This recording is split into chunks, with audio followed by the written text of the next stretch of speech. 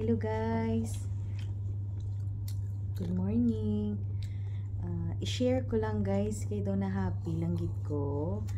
Parang happy lang ako kasi yung bag, itong bag na to matagal na to sa akin. Ah, ano to, ah, ah, binili ko to matagal na noong 2017 pa ito. No, 2017, no? So, tapos, ang nangyari kasi guys, siguro ano titaan, mga 5 months ago, matagal na, 5 months ago.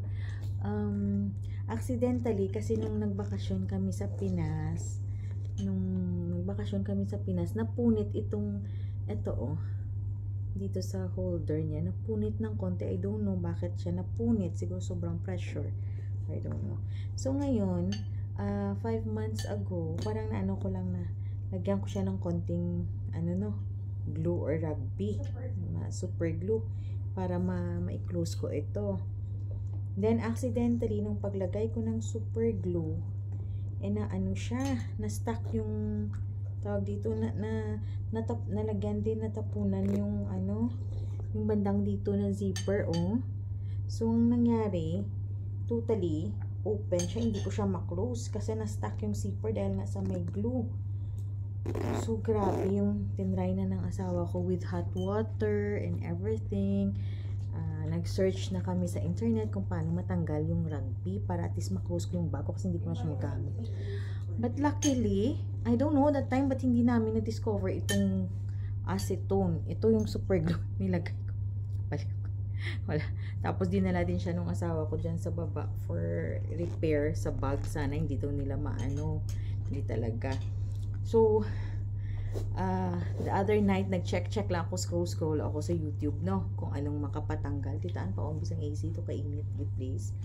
Kung anong makatanggal tapos, ayun, for two consecutive, ano, days. Hindi naman, siguro mga minutes, minutes lang. Ano ko siya talaga. Yung ito, acetone. Yan. Dami. Nilagyan ko siya na nilagyan ng acetone, nala acetone, acetone. Under that, under nung nung zipper na ito, nilagay ko itong cotton para na kung may drip siya ng acetone going down ay naka-filter dun sa cotton continuous, continuous, guys. Tapos, um, nilagyan ko siya nung the other night. Tapos, nung morning ulit, nilagyan ko na naman siya. Alam niyo nangyari? Today. Today. Now lang. Now lang talaga. Sabi ko, i-vlog ko para ma-share ko. Para, at least kung if ever sino nga sa inyo mangyaring ganyan, ayan, pwede nyong gawin sa bag ninyo. So, guys, imagine na, 5 months ago na hindi ko to nagamit-gamit kasi nga hindi ko siya mabuksan. So, imagine, now lang talaga, tuloy-tuloy, sige, uh, lagyan ko ng. Nag-soft yung super glue doon na naka-stick. Nag-soft. Tapos, bigla na lang, di soft na siya. Tapos, nagtatanggalan, makikita mo yung super glue, nagtatanggalan yung white-white, ano niya. Then, dire-diretso nung pag pag-pull ko na nung zipper, dire-diretso na siya. Kaya I'm very happy to share. Hindi masusuot ko na. Magagamit ko na pala ulit ang aking bag. Ayan, finally. So, ayun guys. Any, basta kung halimbawa may mga super glue kayo, no? Tapos nadikit accidentally sa hindi naman dapat dikitan. So, acetone guys. Promise, acetone lang makatanggal. So, by the help of acetone, so, ayun, natanggal talaga siya no? Tapos at the same time, syempre hindi naman siya yung kailangan mo kasi 'di ba nakadikit siya. No. Tapos may kumbaga nag nag-aano siya, dikit-dikit siya doon. So gagawin mo lang, konting push-push mo lang siya para matanggal yung glue. Nagso-soft na kasi siya. So para matanggal doon ang dikit ng glue, push-push mo lang konti. Ako gamit ko yung pusher. Ito, uh, nail pusher kasi syempre maliliit yung ano ng sa zipper bag, ba? So ayan, ginaganon Ayan, nagtatanggalan. Tapos dire-diretso na siya. Ganon. So, any, kahit anong, anything na maka, kung saan maka-stick yung uh, super glue ninyo at gusto nyong tanggalin, use lang ng acetone. No? So, I'm very happy now kasi nagagamit ko na ang aking bag.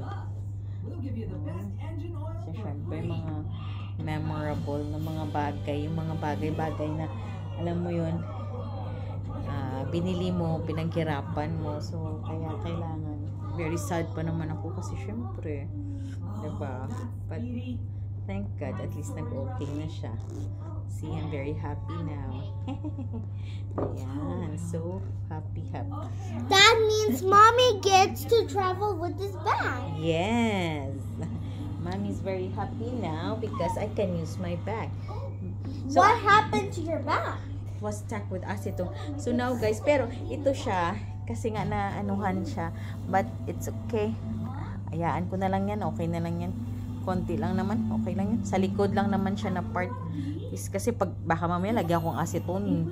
Actually, inanuhan ko siya ng acetone kasi may konting super glue dyan na dikit. So, nag-white siya kasi hindi naman dapat anuhan to ng ano, 'di ba? Hindi siya dapat lagyan yung body niya ng ano, ng acetone. So, inayaan ko na lang. Basta ang importante, ito, na-open yung zipper. Magagamit ko siya. Ayan. Ay, my God! Natumba ang aking video. Ay, OMG. so, ayan guys. Yan yung tip ko sa inyo. Baby, lower the sound is a zan, I think. Ay siya. So, yan yung tips ko sa inyo. Tip, I mean. So, any super glue na madikit, let us say madikit sa kung anong gamit man or whatever, accidentally, na hindi naman siya para doon. So, you just use acetone para matanggal. No? Matanggal yung super glue. Kung anong nakadikit na hindi naman dapat dum, hindi naman kailangan dapat idikit tapos dumikit accidentally, ito lang yung acetone ang gamitin. Yes, we have the acetone. Kita na binili. Ayan. Okay. So, thank you for watching guys. Yan. Ayan. Acetone against super glue. Okay guys, hanggang dito lang ang aking ano ah, video. At least na-share ko lang yung secret. And uh, very happy lang ako. Kasi nga nag-open talaga siya. Correct? So, lagyan ko lang siya ng konting ano dito, um, olive oil para na madulas yung pagkano ng zip. Ayan. Okay, guys. Thank you for watching. Okay. Thank you, thank you. Have a good day. God bless everyone. Bye-bye. Bye bye. Say bye to everyone. Bye.